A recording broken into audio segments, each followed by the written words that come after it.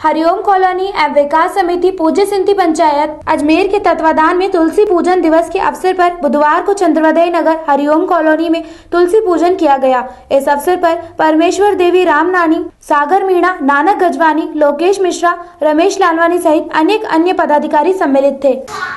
आज हरिओम कॉलोनी विकास समिति और पूज्य सिंधी पंचायत के पदाधिकारियों ने तुलसी का जो दिन है, तुलसी पूजा का, उस पर विशेष पूजा अर्चना करी है सभी हमारे जो पदाधिकारी हैं, वो लोग यहाँ मौजूद हैं। हमने तुलसी का जो पौधा है, वो अपने आप में औषधि में, और तुलसी का पौधा अपने आप में बहुत मान्यता रखता है। तुलसी की अपने आप में एक खूबी है। भगवान श्री राम के टाइम से तुलसी के पौधे की पूजा करते आए हैं। इतिहास में भी सब जगह तुलसी का विवरण है।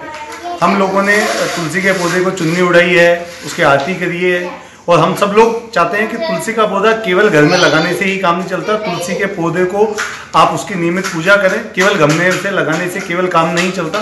तुलसी उसकी साफ़ सफ़ाई हो तुलसी के पूजे की नियमित सुबह शाम दोनों टाइम आती होनी चाहिए घर में। यदि तुलसी का पौधा है तो उसमें दीपक ज़रूर जलाना चाहिए।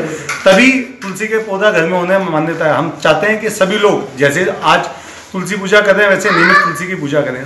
आज तुलसी मैया का दिन है, आज इसको सभी पूजते हैं और ये तुलसी मैया को आप अच्छे तरह से यूज़ कर सकते हैं। ये औषधि के भी काम आती है और ये घरों में सुबह उठ के जैसे पाँच पत्ते कोई खाता है तो बहुत अच्छा शरीर के लिए बहुत लाभदायक होता है। ये तुलसी को यूज़ करना चाहिए, बहुत ज़रूरी है सबके लिए।